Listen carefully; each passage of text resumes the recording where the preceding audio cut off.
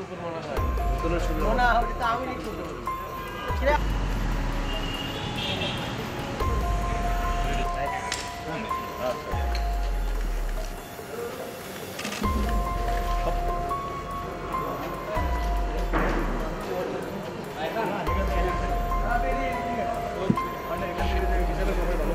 ওই ভিতরে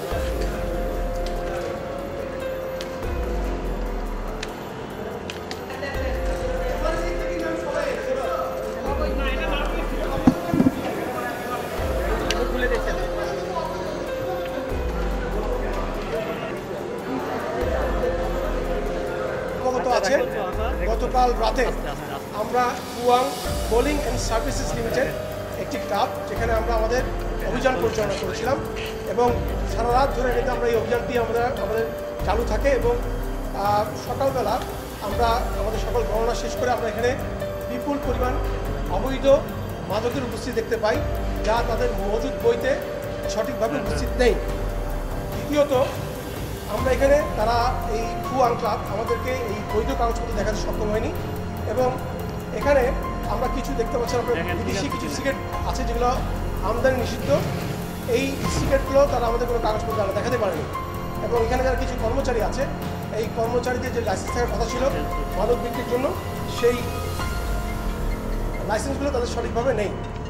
তারই ধারাবাহিকতায় আমরা তাদের বিরুদ্ধে আমরা নিয়মিত মামলা রুজু করব যা মাদকদ্রব্য আইন এবং একই সাথে আমরা বিশেষ ক্ষমতা নিয়ে আমরা মামলা রুজু করছি।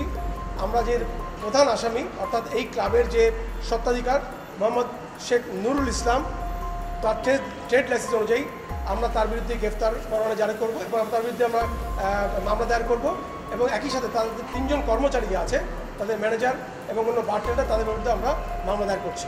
দুই হাজার দুশোর উপরে আমাদের হচ্ছে ফরেন লিকার বা আমাদের দেশি মদ এবং এই বিয়ার থেকে আমাদের প্রায় দশ হাজারের উপর বিয়ার তো এখন যেই জিনিসটা ভেরি ইম্পর্টেন্ট আমি আপনাদের উল্লেখ করে দিচ্ছি আপনারা হয়তো একটু ইয়া করছেন, সেটা হচ্ছে যে যে কোনো বৈধ জিনিসের সাথে, অবৈধ জিনিসের সাথে যদি কোনো বৈধ জিনিস থাকে, তাহলে পুরো জিনিসটা কিন্তু অবৈধ হিসেবে গণ্য হয়।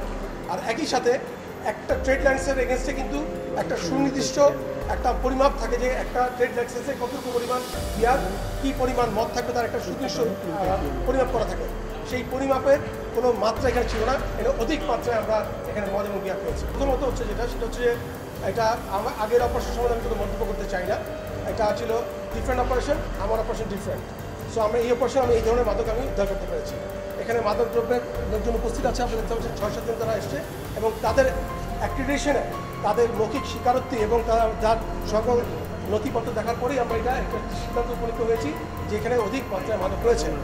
এখন আপনার যে কোশ্চেন যে কী পরিমাণ মাদক অবৈধ বা কতটুকু পরিমাণ? আসলে আমি আবারও যেটা বলতে চাই, এটা যদি একটা বোতলও যদি বেশি হয়, সেটার ক্ষেত্রেও কিন্তু এখানে অবৈধ পরিগণিত হবে। কারণ যে কোনো অবৈধ জিনিসের সাথে প্রত্যেকটা জিনিসই বৈধ জিনিসও কিন্তু অবৈধ হয়ে যায়। ঠিক আছে? তো দুই দিন কিন্তু অনেক বড় সময়। আর যদি তারা কনফার্ম হয়ে গেছে এখানে কেউ আসবে না, হয়তো এই সময়ের মধ্যে তারা এটা নিয়ে আসতে পারে। বাট আমি এবারে কনফার্ম না। বাট আমরা এই মাদকগুলোকে বিভিন্ন জায়গায় লুকায়িত অবস্থা কিন্তু আমরা আমরা উদ্ধার করতে সক্ষম হয়েছি। বিভিন্ন জায়গায় লুকায়িত অবস্থা ছিল যেগুলো তাদের নর্মাল অবস্থা ছিল ছিল একটা বারে বাট বাকিগুলো বিভিন্ন জায়গায় তারা লুকায়িত অবস্থা রেখেছিল। সো সেগুলো আমরা উদ্ধার করতে সক্ষম হয়েছি। এটা আমরা তদন্ত করে বলতে হবে। তদন্ত সাপেক্ষে তদন্ত সাপেক্ষে আমরা আরও কিছু বলতে হবে। Thank you